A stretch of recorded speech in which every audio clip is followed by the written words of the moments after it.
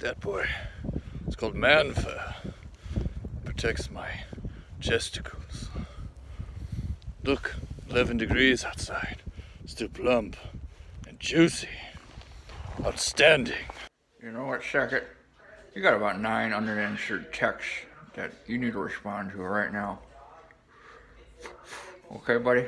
So, you better get on those texts and get them back to me ASAP. Sackett, um, I had a little change of heart. I went on vacation, went to the jungle of Polynesia here. It's just a beautiful place. You know, you can just get back to me whenever you want. I was sorry I got a little out of turn there. I spoke a little out of turn. Yeah, about my, uh, oh, my cigar. Was a little backfire and exploded. You know what, Sackett? I've been tinkering away with different thoughts in my head, and something's really uh, tickling my pickle. And you better get back to me, or we're done. You cannot come, boy.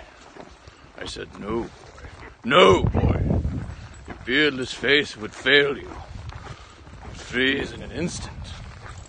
You have no mustache, no beard, not even a hint of sideburns. You would be dead immediately.